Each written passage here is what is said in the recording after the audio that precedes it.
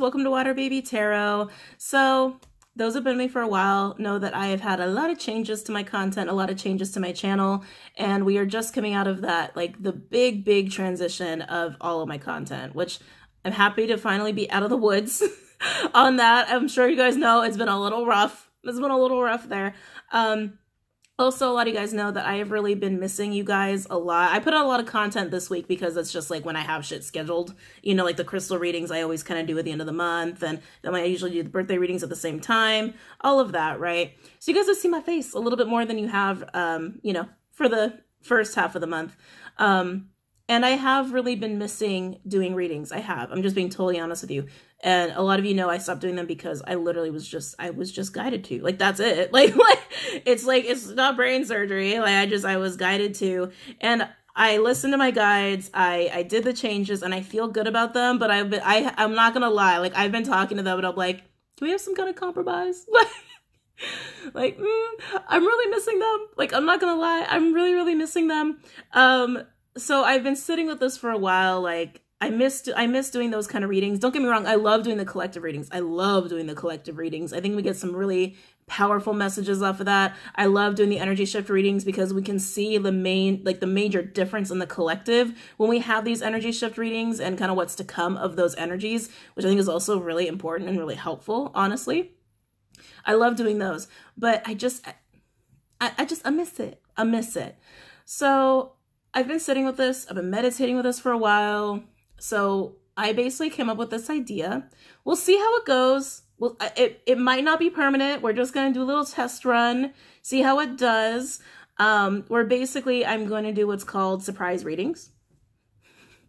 um, because I've really been feeling a lot of stuff wanting to come through in the last couple days, especially where I'm like, I feel like I need to be like getting messages out to people, but not in a collective way, but like, you know what I mean? Like the same feeling I would get when like I'd be SOS'd by a sign, like Taurus or Leo or something like that. Like, I just heard Virgo. That's interesting.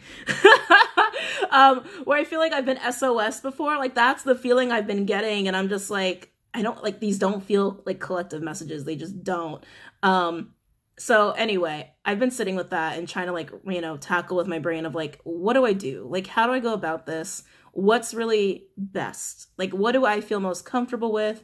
And I just want to feel like I'm doing the right thing, right? That I'm doing the right thing for my channel, um, that I'm doing the right thing for me and for my work and for the collective as well. So I, I decided to come up with these surprise readings. Like when I'm feeling that big SOS feeling, I'll go ahead and do one of these readings. And the way that this is going to work, I'm going to use Major Arcana from a deck. And I'm basically just going to pull the cards that want to come out. The cards that will come out will indicate the um, energies at play. So for example, with Major Arcana, they usually um, follow a planet or a sign.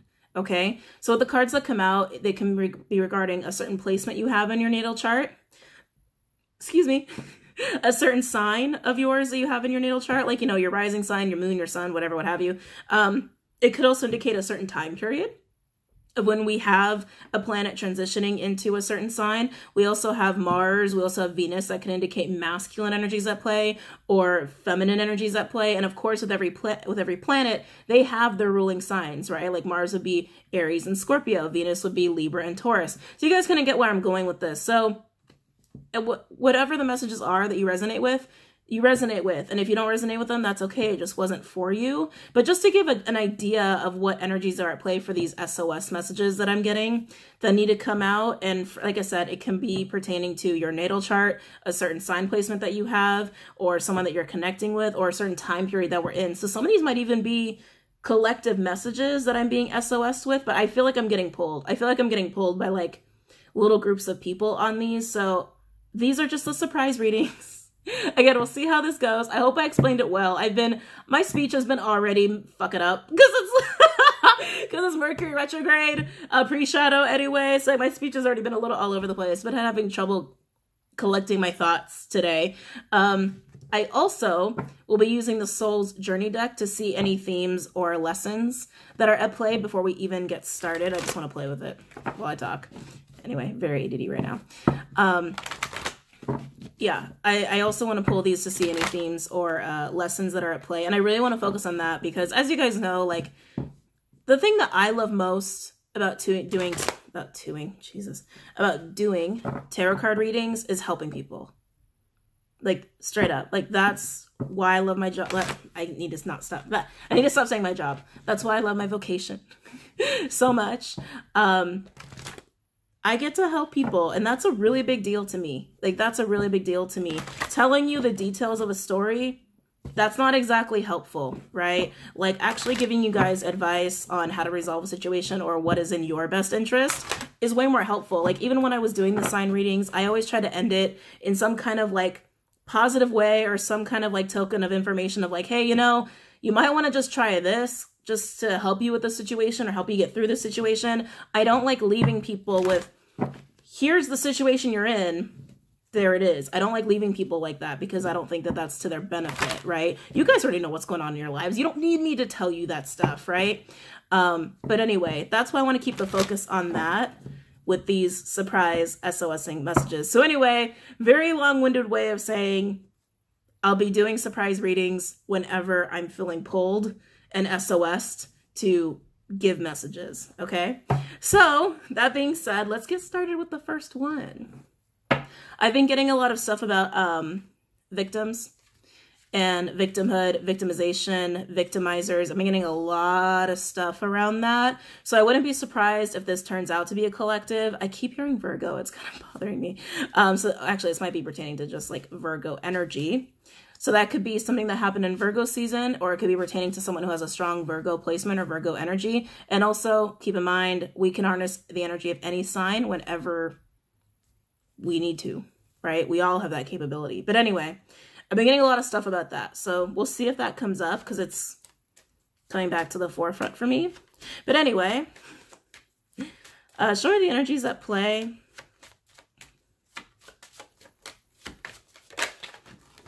Ooh, okay. Death card. So scorpionic energy. So again, that could be pertaining to a placement someone has or something that happened in Scorpio season or as a planet transitions in or out of Scorpio. That could even indicate the moon, okay? I'm actually just noticing the moon behind that individual. Let's see what else wants to come out. I'm going to get three. Or if three want to come out. What other energies are at play? Lovers. Gemini. We know Scorpio and Gemini. Can I get one more, please? Oh, thank you. And Virgo. I knew I felt Virgo here. Wow. Okay. So we have Scorp uh, we have Scorpionic energy, Gemini energy, and Virgo energy here. So like I said, these could be pertaining to placements. You guys could just be harnessing these energies. It could be pertaining to um, a time period of when a planet was transitioning in and out of this. So again, before we even get the messages, just remember these are not going to be for everybody. I'm just getting SOS on stuff, okay? But just right out the gate, it's like there's a lot of introspective energy. Yeah, I'm feeling that victim victimhood. I'm feeling a lot of that. Um, someone feels like they are just a true victim, like they're plagued by trauma. Like it follows them. Someone feels like they're a magnet for trauma.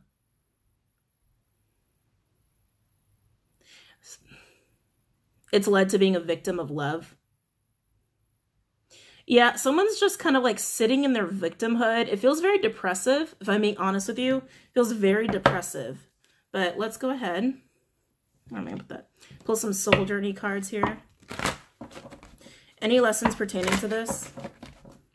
Lessons or themes pertaining to this? They don't have a victim card. Just they don't have a victim card.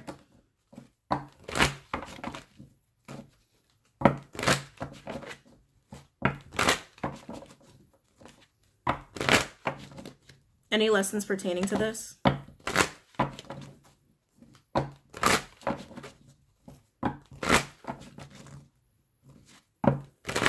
Someone's really closed off themselves to a lot of opportunities. Um, God, I, I wanted to say when it comes to romance, but I feel like in general, in general, because of all of this trauma as of, I, I don't want to do that, but I feel compelled to do that because of all this trauma as a victim not that they wear it as a badge, but like they, it's like eh, they're getting stuck in it. It's like they're kind of getting in like into that that repetition of telling themselves that they're a victim, telling themselves they're always going to be a victim. Telling them it's almost like because of that, it's like not that they don't try for opportunities, they just don't even see them. I feel like they don't even see them.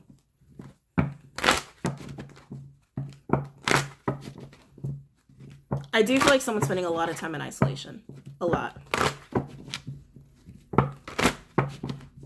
Any lessons going on here? Lessons or themes?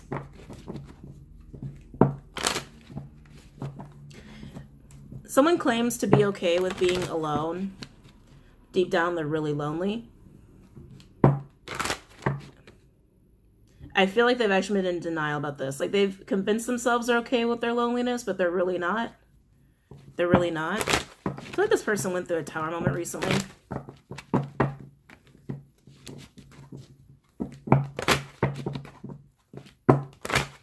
Any other lessons?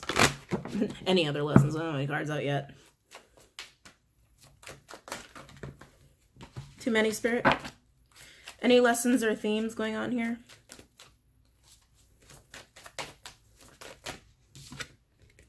Oh, interesting. Service. Okay. I feel good when I can help others. Oh, this is taking a sad turn. Oh, boundaries. We got some boundary lessons going on here. The reason this person feels like such a victim and that, you know, that they just keep attracting trauma, I feel like this person really struggles with boundaries, like having healthy boundaries, what that looks like.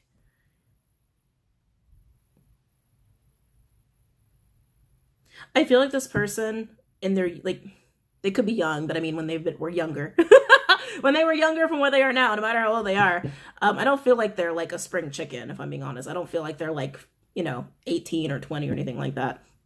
Anyway, getting back to the message here. Um, I feel like when they were younger, it was like balls to the wall, no boundaries, like full on attachment, like all up in someone's energy field, like fully in, like full, you know, all in 100%. And they were hurt because of that. And now they've gone through all of these situations where that's really blown up in their face and they feel like they've been a victim of all of that. Now they're at the point where they don't give at all, but they want to, which is why they don't have opportunities. Yeah, which is why they don't have opportunities. Interesting. Let's keep going. I do feel like this person has a big heart. I do. I feel like this person really enjoys um, people when they're in a healthy, balanced state. But I feel like this person, because of what they've been through, they haven't had, haven't had that that much in their life. Wow. And we have grief and worry. I understand that losing something something is an opportunity to appreciate it. I'm learning that worry doesn't change an outcome. This person tries to shrug off anything they lose. But they're but when they shrug it off, they're not dealing with it. And so they it just gets like put into the bank of all their victimizations or like victimhood. Into the bank of their victimhood. I'll put it that way. I feel like it's coming to a head for this person right now.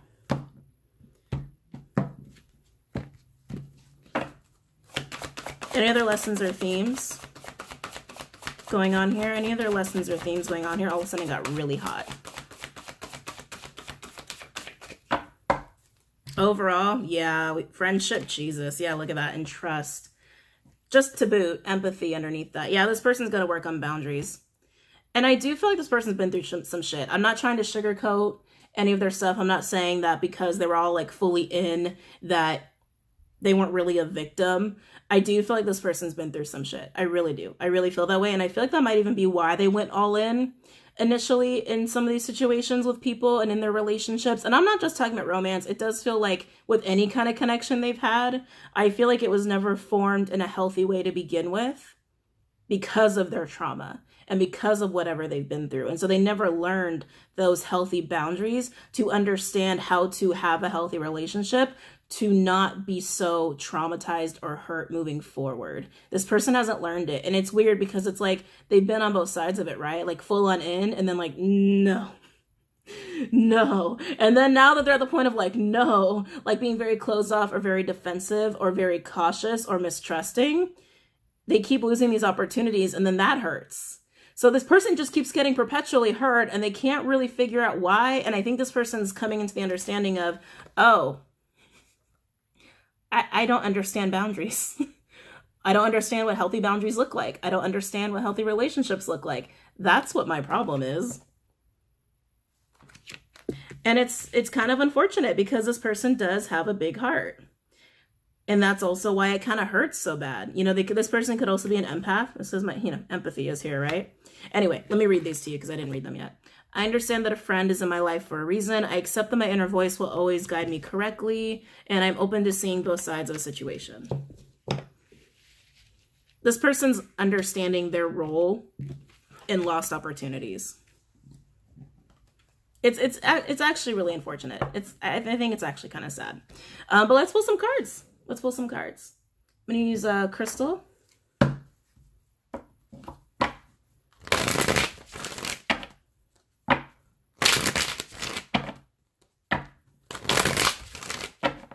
I keep looking at this card and I keep hearing Mars. Some might have a Mars Scorpio placement, but Mars also real Scorpio, so it's just weird because I can't stop looking at that. Or that something could have happened when Mars was in Scorpio, because that was actually not that long ago. When did Mars leave Scorpio? Uh, I feel like that was like, Lord, I can't even remember. I feel like Mars was out of Scorpio by December, if I'm not mistaken. Anyway, I'm gonna keep going. Or someone could be dealing with like a Scorpio male. You guys get what I'm getting at with like these planetary associations. Anyway.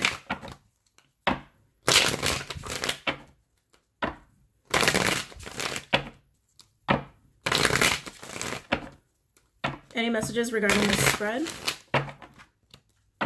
Any messages regarding the spread or the situation?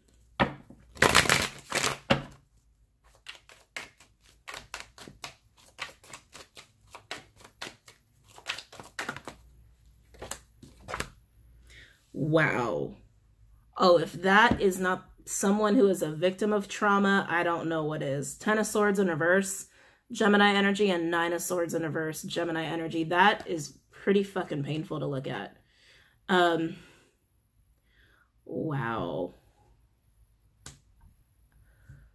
that was really heavy on my heart chakra. Um, I can't imagine what this person's been through. I literally heard they didn't have a chance. Like I, that's what I literally heard. They didn't have a chance.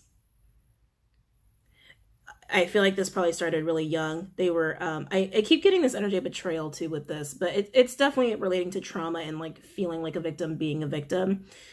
I just feel like betrayal from family, like from like starting at a young age. Causing this person to to constantly like seek out support constantly seek out those intimate safe safe connections because this person didn't have safe connections growing up. Oh my god. Jesus. Okay. Yeah i feel like this person subconsciously was always seeking out some kind of supportive safe connections because they just never had that they just never had that. But because they never had that, they also didn't know what that looked like, right? They didn't know what that looked like or how to go about that. Maybe not even understanding that it takes time to build those kind of connections, right? And if this started super young, because I'm feeling more like child energy with this, um, if this started at a really, really, really, really young age, like how could this person ever truly feel safe even within themselves? And again, I'm not trying to bash this person or paint them up to be like some kind of like broken individual because I actually feel like this person is uh, fairly aware of themselves at this point because they are kind of looking at the other side of things. It's almost like they're going through all of their losses. I'm feeling just loss, um, all of their losses. I feel like people who that they've lost connections with, realizing their role in it right? Like, oh shit, like, well, maybe that person wasn't really a douchebag, or maybe the person really wasn't a bitch. Maybe at the end of the, at the end of the day, I was so seeking out that safe connection that it was too much. I expected too much, right? But instead of seeing that, this person took it on as betrayal. You get what I'm saying? You guys get what I'm saying. Okay, let's keep going.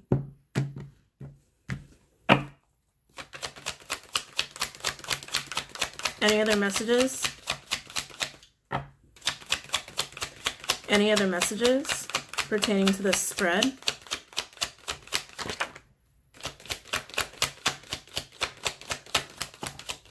Oh, beautiful. Beautiful.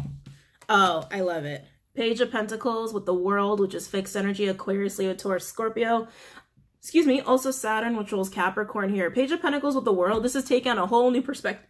Excuse me, perspective. Yeah, someone's literally changing the way they see connections and their role in it and what they and comparing it to what they've been through. This person for a long time could have just said like everyone's awful. People have always done this to me. People have always been like this to me. No one cares. No one's ever cared about me. At the end of the day, this person just never had that feeling of safety ever. And so they latched onto it. Anything that seemed safe, investing too much, like, you know, they can, you can say that's codependent energy and having it not work out. They feel betrayed. They feel even more like a victim. And as time goes on, they do that less and less because they're so hurt and so traumatized to the point where now they just don't give anything. And then when it falls apart because they're not giving anything, they're like, well, they just didn't stick around because that always happens, or you know, people don't people don't stick around for me, or like you know, again that victim role, but it's self perpetuating, right? This person's realizing that. This person's realizing that. It's actually really interesting because it's like it goes from a very like open, all in codependent energy all the way through to being really closed off and having the same feeling being perpetuated. That is really fascinating, just from a psychological perspective. Anyway, Overall energy, we do have four pentacles in reverse. Uh, Capricorn energy. It's weird. I wanted to say Taurus, but it's not Taurus. But we do have a Taurus card underneath that. Uh, King of Pentacles. Taurian energy could also be earth or air. So very masculine energy. Again, it's just an energy. It, it can be relating to females. Doesn't matter. Um, but King of Pentacles with the four pentacles in a verse, Someone's being let go of. There's also a major heart chakra opening happening here. That was weird to say. Heart chakra opening happening here.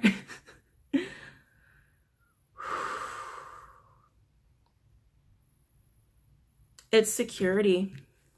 King of Pentacles is the full-on representation of, hey, I, I've got you. That is a king that shows up, that likes to build, that likes to invest, and likes to keep maintaining, um, likes likes to really be there, likes to give that support in a tangible way tangible. And this person has never had that kind of security or feeling of that. They don't really they're not familiar with that. They don't really know what that is supposed to be like. And i think even if they do encounter it they wouldn't know what to do with it if i'm being totally honest here. Yeah but that's what this feels like to me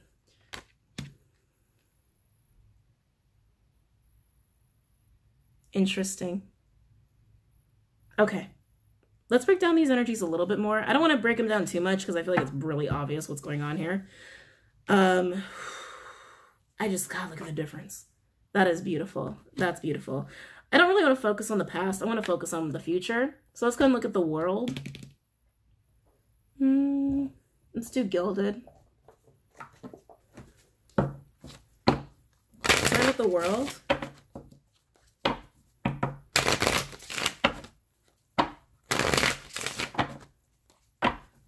Play with the world.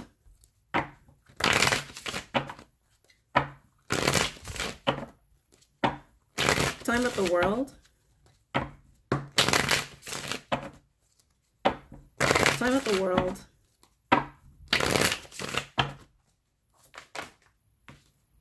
Got a peeker. Wow. Oh, whoa just whoa, justice, Libra energy, and with the Ten of Pentacles, Virgo energy. Talk about stability, man. Wow. I, I almost have no words for this. Understanding both sides of this and someone having, and you know, putting two and two together as far as this pattern that they've had through the course of their life and how it's also evolved through the course of their life and seeing how things need to change. Look at what it brings in. Look at what that shit brings in. It brings in abundance. It brings an abundance and security. Wow, that's that's amazing. This is the epitome of the power of changing your energy and changing your perspective and what it could give you. Look at the stark difference here. That's major. Wow. Okay. Sorry, I'm just amazed. Time about the world. Time about the world. Whoop. Jesus, so many cards. Tell me about the world. Oh, wow. Okay, whoever's going through this is definitely going through a heart chakra opening and they're about to make an approach to somebody as a result. So we have Four Pentacles in reverse, um, Cappy energy with the Page of Wands. And then you ready for this? The Knight of Wands, Sag energy, could also be Aries or Leo with the Queen of Wands, Aries, could also be fire or water. Look at this. The page to the knight to the queen. I just feel immense growth. Let me just say that first and foremost. Changing this perspective, opening the heart chakra, going through all of this with this change of perspective is allowing someone to fully mature in a very quick amount of time from the page to the knight to the queen. I also do feel an approach here and news of like, hey, I've done a lot of thinking. I understand, like, you know, like almost like making amends in a way. Like, I realize my role in shit. I understand my pathology now. Someone gets their pathology. That's hard to do. Like, not everyone is capable of, do, of being their own shrink in that kind of a very advanced way. But either way, I do feel an approach here for a lot of people from a masculine energy to a feminine energy, but also a major growth and ascension process. Like, major growth process. We also have death in reverse, rebirth. Rebirth, scorpionic energy. Hold on. Beautiful, man. Overall, we do have the Fool in reverse, though. Um, this is uh, your Uranus. Uranus energy. It's also Aries for me as a reader. I don't I don't love that this card is here because the full universe always always shows me like fear and insecurity. That's always what it shows me. I feel like this person's just reflected on again their pathology and how it makes sense and like putting two and two together and realizing a lot of their insecurities and where it comes from and how they've been perpetuated and self-perpetuated. Um, I feel like that's really why it's there because, I mean, with the world card, eh, this person's going into the world, like no doubt about it. There is a new cycle starting here because someone took on that new perspective for themselves. But in doing so, it's also acceptance of all the insecurities and pathology this person's realizing about themselves, right? It is what it is.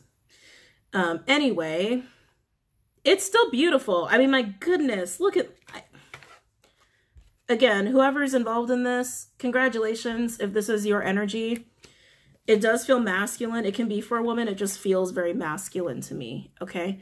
Um, do I, do I need to pull any other cards? I mean, I don't think so. I think it's pretty clear. I think it's pretty clear cut. Um, I will pull was one wisdom of the oracle. I'll pull one for any kind of like last bit of advice, but honestly, I, am very impressed.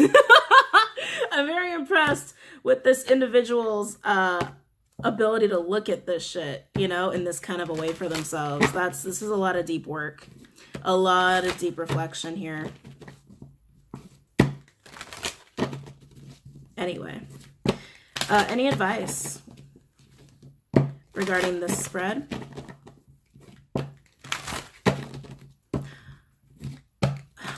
Wow. Wow. Any advice regarding the spread? And it's interesting because I feel like, sorry, I just have to like talk about something I'm tapping into. I feel like the healing portion, excuse me, that's taken place has taken place in a lot of like the feminine aspects of, of themselves. Again, regardless of gender. Like a lot of the feminine aspects of themselves. Feminine aspects of ourselves is what allows us to receive graciously. Um, what allows us to be um, helped and supported, I feel like that part of this person has been very fragmented because of the trauma that they've experienced. They haven't allowed themselves to receive because they're too busy like grabbing and clinging, right? Um, and then when they shut down, they also didn't allow themselves to receive, right? Very fascinating. Anyway.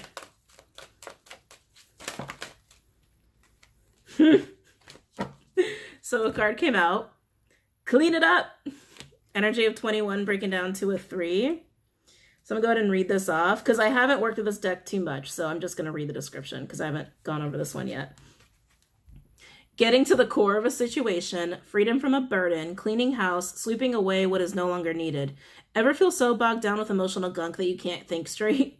Could you be surrounded by physical clutter in your home? Also, too much work, overwhelmed, time to clean house. Every item out of place uh, matters matters? Wait a minute. Oh, that's a typo. There's literally a typo in here. Okay, I'll, I'll just fill in a, a word for that. Uh, every item out of place picks away at you. Every unresolved resentment, every comparison to others that leads to a sense of lack takes up energetic space. Every unpaid bill just adds up to an unnecessary feeling of being overwhelmed. Now is the time to free yourself by energetically cleaning house. Just do it. Make room for the miracles that are lining up for you. Time to clear the air. Take a look at your take a look at your side of the street and say what's on your mind. Sweep away the old stuff so that a spring breeze can flow through with new energy. It's the perfect time to do an inventory of your dynamics and see what's yours and what's not yours to clean up the relationship. Everyone brings baggage. Sort through what you brought with you and let go of what is no longer needed. Become unencumbered about your relationship and let it flourish. Some things like opening your mail, paying bills, sorting out your timetable, making lists, and getting organized is what this symbol means when it comes to your work. Make time for yourself too. This card is a sign that you may be overburdened and overwhelmed. It's okay to say no. You'll prosper even more if you do. Sorry, is it not focusing? Sorry, my ring light's kind of bright. Oh, there we go. That's better. I love the imagery though. It's, awesome. Is it possible maybe focusing too much on other people right now, trying too hard to help uh, other trying too hard to be helpful? Does taking on what belongs to others make you feel needed or desired? Perhaps you think it's your calling to relieve people of their burdens, but what is the, the cost to you and to them? Don't clean up someone else's side of the street. You're not helping by freeing freeing him or her from responsibility. You're also not doing yourself any favors, and you just might be adding an even greater strain. You are loved as you are. You don't need to be needed to be loved. Ooh. Ouch that hit someone. I felt that. I felt that one. Anyway, guys, so this was the first string in these surprise readings. Um, I really hope you guys enjoyed it. I definitely did. This was a very, very like powerful message. I do think that this can pertain to the collective just because I have been getting a lot of like victim, victimizer, victimhood stuff. I know that's coming up a lot for masculine energy as it's going through the rebirthing process through all of like the death processing that we've been going through since December, as I've been talking about for months. So definitely this pertains to the collective, but the cards that I did pull in the beginning, just to show them again. Scorpio, which I keep hearing Mars, by the way. Uh, Scorpio, Gemini, and Virgo. Scorpio, Gemini, and Virgo. Not surprising that Gemini and Virgo came out, just because Mercury did go pre-shadow today. Uh, and then it goes uh, full on retrograde on the 16th. I will be doing an energy shift reading in a couple days, though, for the collective, uh, because Mercury is going to be moving into Pisces soon. Okay? Right? Yes. Yes. Anyway, I love you guys. I hope you enjoyed. Uh, let me know what you think, and we'll see if this will, if we'll continue to do these. Okay? All right. I'll see you later. Have a good night and a good start to February. Namaste.